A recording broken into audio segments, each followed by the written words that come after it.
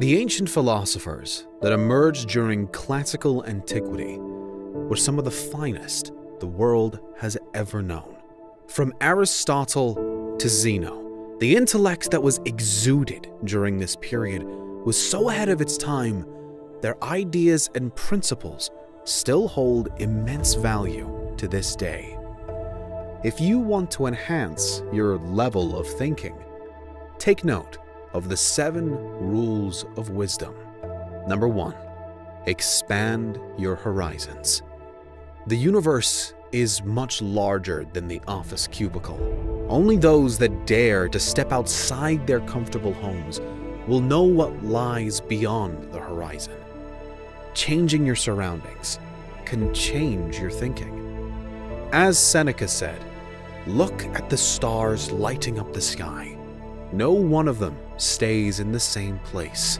If you really seek enhanced wisdom and personal growth, you must step beyond your local boundaries, whether that's relocating or traveling. The further you go, the more you will gain. Number two, fool's gold. The most foolish among us place their worth on their wealth and not on their value. Money cannot buy wisdom, and unchecked greed will destroy any person in time. Epicurus sums this up so simply If a little is not enough for you, then nothing is. Focus on building your intellect and virtue. Realize money is just a tool, not your score in life. People who focus only on money allow their other faculties to crumble, and any foundation built on sand will soon see the sea. Number three, know what you control. Marcus Aurelius was at one point the most powerful man on earth. Despite his status, he noted, You have power over your mind, not outside events. Realize this, and you will find strength. In the modern world, anxiety and stress have become silent killers. If you allow yourself to be overwhelmed by things that you have no control over, your life will end long before your death.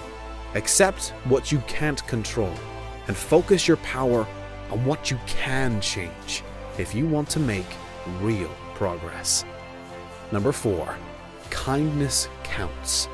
Only the strongest and most intelligent people have the capacity for kindness.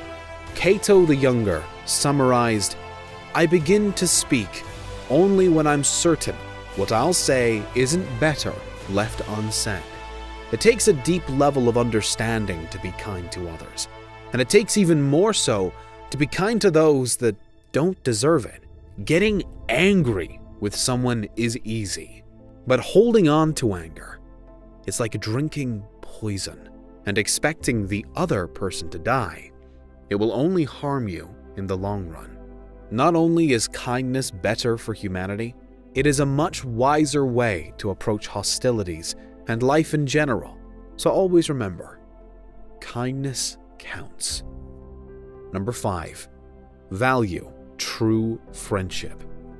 Friendship is one of the most beautiful things because you can only experience it if you put yourself on the line. Open up and share the embarrassing parts of your story. Cicero explained this emotional question by saying, Friendship improves happiness and abates misery by doubling our joys and dividing our grief. The definition of friendship is a state of mutual trust. So clear out the fake friends and focus on people that you can trust if you want to live your best life. Number 6. Sound mind. If you live in any modern city, alcohol and drugs are never far away. The scary thing about alcohol and drugs is that they actually work. They will actually help you escape pain. But escaped pain never made anyone stronger or wiser. As Pythagoras explained, Strength of mind rests in sobriety, for this keeps your reason unclouded by passion. True freedom is only achieved by overcoming the struggle within. We all have difficult moments, some more than others. But overcoming these moments is where wisdom and strength is formed. Number seven, this life is yours.